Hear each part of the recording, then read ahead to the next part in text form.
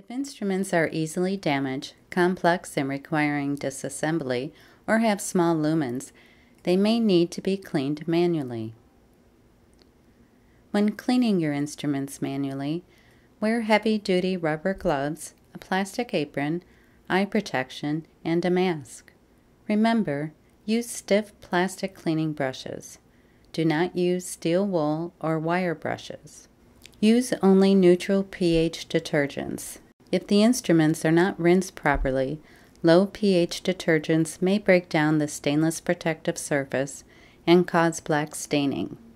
High pH detergents may cause surface deposits of brown stains, which can interfere with the smooth operation of the instrument. Brush delicate instruments carefully and handle them separately from general instruments. Hold the instruments below the surface of the water when you scrub them to avoid splattering contaminants. Be sure to brush out all crevices, teeth, and grooves.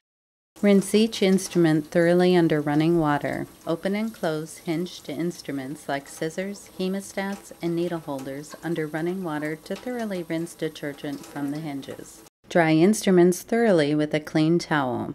This minimizes the risk of corrosion and formation of water spots. Spray a lubricant on the hinges to improve function of the instrument. Inspect all instrument surfaces to ensure they are visibly clean and free of stains and tissue. Inspect each instrument for proper function and condition. Scissor blades should glide smoothly and the blades must not be loose when in closed position. Check that forceps tips are properly aligned. Hemostats and needle holders should not show light between the jaws. They should lock and unlock easily, and the joints should not be too loose. Check needle holder jaws for wear. Examine cutting instruments and knives to be sure their blades are sharp and free of nicks and chips. These instruments are now clean. If necessary, they may now be disinfected or sterilized.